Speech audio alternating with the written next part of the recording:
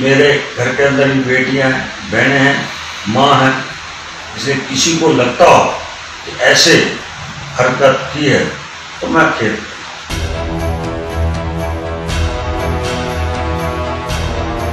ये माफ़ी भरे शब्द बीजेपी के दिग्गज नेता मनीष ग्रोवर के हैं, जो पिछले कुछ दिनों से कई गंभीर सवालों के घेरे में थे। इन नेताजी पर महिलाओं को अश्लील इशारे करने का आरोप लगा था, जिसे लेकर लगातार कई जगहों पर प्रदर्शन किए जा रहे थे, विरोध किया जा रहा था, और महिलाओं का गुस्सा साथ में आसमान पर था। हांसी में अपने मान सम्मान के लिए प्रदर्शन पर बैठी एक महिला ने तो साफ़ कर दिया था कि आकर माफ़ी मांग लेगा तो ठीक, वरना गोली खा लेंगे, लेकिन ये हरकत बर्दाश्त नहीं करेंगे।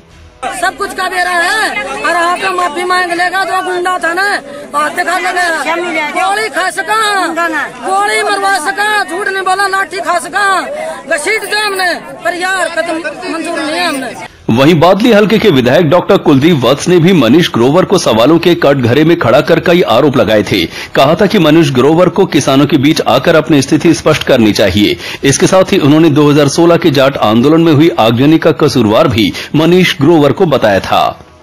मनीष ग्रोवर लोगों के बीच में आए, हमारी माता बहनों के बीच में आके गलती मांगे। अगर वो ये सोचता है कि तो किस हरियाणा के जो हमारे किसान हैं महान बेटियाँ हैं, उनका अपमान करके वो ऐसी हरकत करके बड़ा बन जाएगा। आप आप ये बात दिमाग से निकाल लें और हम प्रत्येक व्यक्ति इस हरियाणा का इस बात को सहन नहीं करेगा। चाहे वो किसान है, चाहे नॉन किसान, चाहे कोई बिजनेसमैन है, चाहे कोई और है, क्योंकि ये ये हरियाणा की इज़्ज़त की बात है।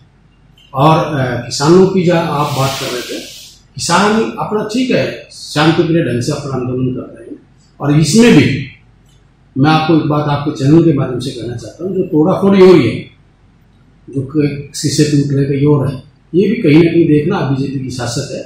इसमें किसान इतने, वो नहीं है। इसमें कहीं ना कहीं दाल में काला है और मैं तो कहता हूँ दाल में काला नहीं, पूरी दाल ही काली जिसके बाद इस मुद्दे ने तूल पकड़ा और ये आवाज़ शायद बीजेपी के आला कमान तक पहुँची और इसका असर देखने को मिला, जब भाजपा के पूर्व सहकारिता राज्य मंत्री मनीष ग्रोवर ने इस मामले में माफ़ी मांगने का वीडियो जारी किया।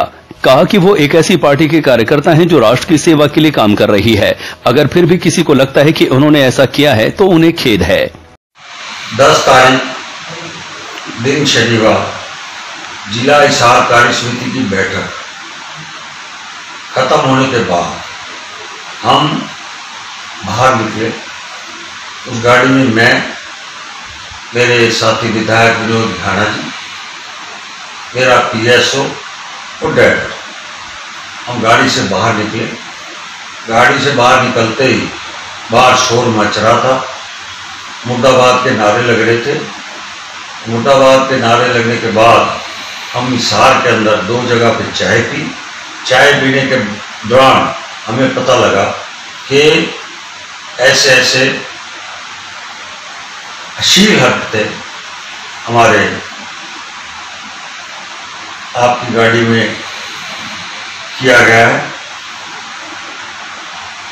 मैं भारतीय जनता पार्टी का एक कार्यकर्ता हूँ, जिसका राष्ट्र से प्यार और प्रेम रहता है।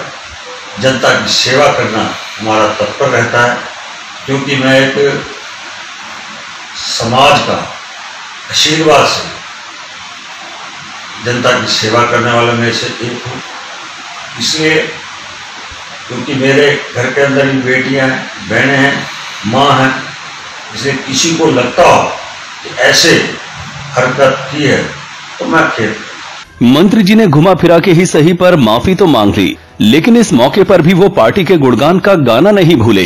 उन्होंने पार्टी के कार्यों का बखान करते हुए अपने इस माफीनामे को जारी किया। पर एक राज्य मंत्री रह चुके नेता पर यूँ सवाल उठना और इस पर बीजेपी के सारे कुंबे की खामोशी, बीजेपी के महिला सम्मान और सुरक्षा के उन तमाम दावों पर पानी फेरने का काम कर रही है, जिसके लिए नेता बड़े गर्व से इस पार्टी का बखान करते फिरते हैं। सत्य खबर के लिए ब्यूरो रिपोर्ट। आप देख रहे हैं सत्य खबर। सत्य, सटीक, बेबाक।